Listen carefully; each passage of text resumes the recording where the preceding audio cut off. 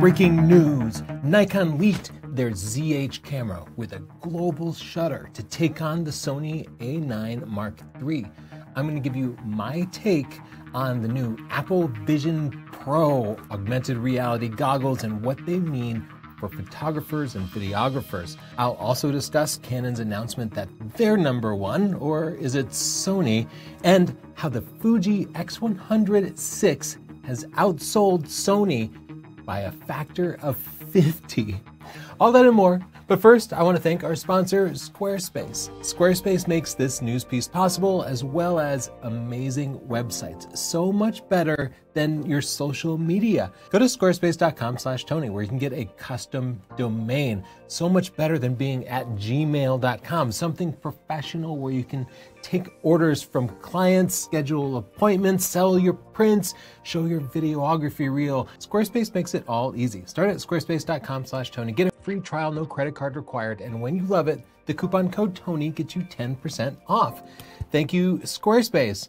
First, so many people have asked me my thoughts on the Apple Vision Pro. Should photographers get it to replace their monitors to see things even bigger? My answer I don't give a f.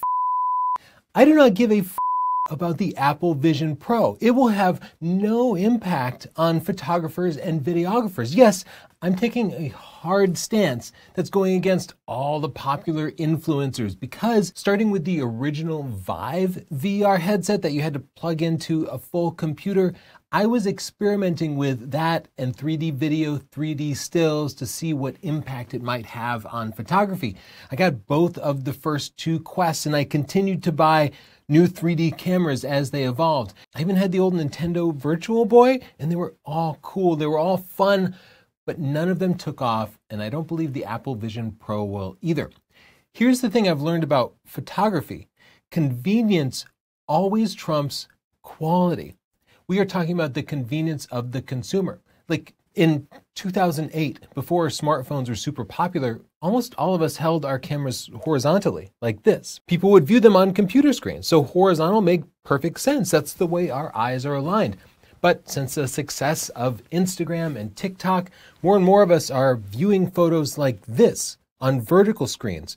So we have to turn our cameras like this to optimize the quality for these screens. Now, it would have been really easy. We could have just turned the screens like this, right? The people consuming your photos and video are willing to sacrifice significant amounts of quality so they can hold the phone like this instead of having to hold it like this. Do you think those people are going to be willing to wear heavy, sweaty, expensive headsets?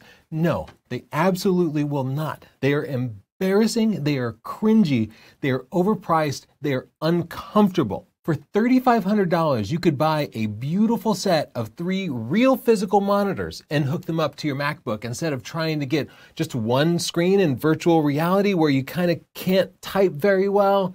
Yes, it's just the first version of Apple Vision Pro, but this is not my first VR headset. I do not believe anytime soon consumers are going to be hungry for horizontal 3D content. So for the time being, at ease, completely disregard the very brief VR trend. Up next, an announcement from Canon that they are the number one camera manufacturer. That was followed shortly thereafter by a Petapixel article. They reached out to Sony, and Sony said that they are number one. But Sony also said, but hey, we weren't going to mention it, but since Canon mentioned it and you asked, we'll mention it. Okay, this is all pretty nonsense. The Japanese camera companies have this rivalry where they're all trying to be number one, and it has basically no impact on either of us. Like, pretty much, we just have to ask ourselves is a camera company going to continue to survive and thrive? Canon and Sony are both going to continue to survive and thrive. And in fact, I would argue that a camera manufacturer being number one is actually a drawback to consumers of that company because here's what happens when a camera company is number one. They begin to worry about competing with themselves. Canon has been number one, and for the longest time, we've seen them trying less hard, holding back features. That's why so many of their photography cameras had video features held back because they didn't want to compete with their own cinema lineup. Sony, on the other hand, was willing to throw all that stuff in when they were a distant third or second place. But now that Sony might also be number one, we see some of that same behavior. We see them holding back features, Things that could be a firmware update for my Sony a7S III never get released because they want me to buy the next camera. They're not worried about losing my sale to Canon or Nikon.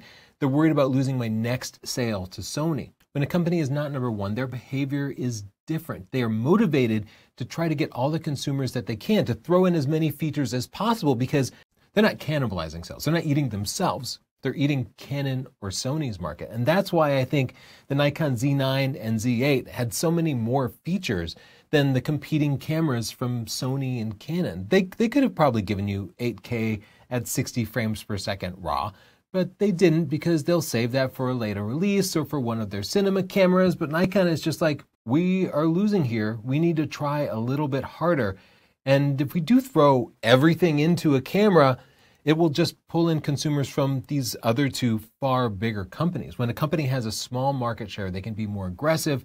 And for that reason, consumers are often better off going for the company that's in second, third, fourth, or fifth place. So maybe Canon is number one, maybe Sony is number one, but either way, I don't think it's good news for us. Speaking of Canon, Canon Rumors has an updated roadmap that's not exactly great news.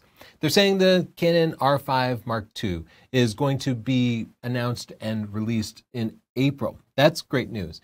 But the Canon R1 is only going to get a development announcement then, which means it might not be ready for the Olympics, or maybe they'll just have a few hand built models ready for the Olympics. In other words, we probably won't be able to get our hands on an R1, I'm guessing, until fall at the earliest, or maybe closer to 2025. That's bad news. But Canon Rumors does say there were several new lenses coming. Uh, 28 millimeter prime, which might be f1.4 or f1.8. We're not sure if that's an L lens or not. A 35 f1.2L, which I will immediately buy for a podcast studio because right now we have a 35 f2.8 macro lens on there, which is just the closest that they have. Really glad to see Canon developing some new RF primes and a new version of the 70 to 200 f2.8. This is an internal zoom lens. I think it'll have better quality because they're current 7200 f2.8 does not compete with the Sony or Nikon because they decided to optimize it for size. So be sure to subscribe and we'll have reviews for all those products as soon as the production copies are available. In other news, the Fuji X100VI outsold the Nikon ZF here, also a retro styled camera, by 35 times. That's according to Sony Alpha Rumors, who contacted some camera stores. But based on our own affiliate behavior, I totally believe that. We have seen far more people buying the X100VI than we did the Nikon ZF or any other camera. Sony Alpha Rumors also said that the X100VI outsold the A7C2 and the A7CR, two compact interchangeable lens Sony cameras that almost fulfill the same niche. The Fuji outsold those two combined by 50 times. The Fuji is wildly popular. It has become a meme on TikTok because it's cool, because it's sexy, because it's fun. And I hope the other manufacturers take notice. The ZF, it doesn't quite do it. Sure, it's technically a retro camera, but it's kind of bulky. It still has a PASM mode. It's just not the same. Camera manufacturers need to get in touch with a younger audience. They need to stop talking to the people who already buy cameras try to reclaim some of the market that they lost to smartphones because these people are willing to buy cameras. Now, our lead story the Nikon ZH with its global shutter. Nikon Rumors calls this a wild rumor, but I decided to explore it. Could Nikon release a competitor to the Sony A9 Mark III with a global shutter? And what would that look like? Well, first, the suggested name of Nikon ZH harkens back to the Nikon D2H. The H here means it was a high speed camera, which had a lower number of megapixels but a higher frame rate. So Nikon released two D2s. The D2X was 12 megapixels, which was a high number of megapixels, but only 5 frames per second, which was still pretty fast. The D2H went to a blazing 8 frames per second, but sacrifice two thirds of that image quality by dropping down to four megapixels. Now, okay, we've come a long way in 20 years because now the A9 is 24 megapixels, twice the higher res camera, and 120 frames per second. I think the Nikon ZH, which might be called the Nikon Z9H, would be in a Z9 body, just like this camera here, but it would probably have a sensor very similar to the Sony A9 Mark III, probably the same sensor, or a slight variation thereof, because Nikon gets their sensors from Sony. So it could very well have the same specs of 24 megapixels and 120 frames per second. That is entirely possible. They just need to buy the sensor and integrate it, and then they can sell it. But the real question is will Sony sell Nikon global shutters?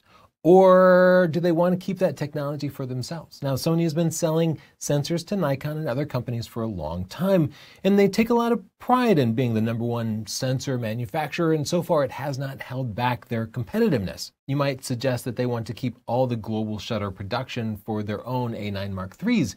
Except it doesn't seem like Sony is having a hard time producing the A9 Mark III, either because they're extremely efficient at manufacturing or maybe because there's not that much demand. I don't know how many that they're selling. But either way, there seems to be enough of them. If this isn't supply constrained, I think Sony probably would sell a global shutter to Nikon. But at the same time, I think it would take Nikon at least a year to get it properly integrated. So maybe 2025 we'll be seeing that Z9H.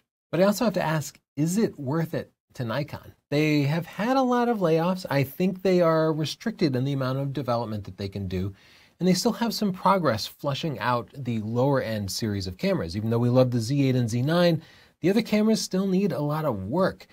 Would I take any of their development resources to make a top end sports camera? Nikon doesn't really lead in sports. That is very much Canon's world, followed by Sony. And Nikon, you almost never see them on the sidelines. I know they would like to have that market, but every engineering person that they assign to the Z9H is one less that could be making the next generation Nikon ZF or Z30, something that might sell a hundred or a thousand times more than a high-end Z9H would.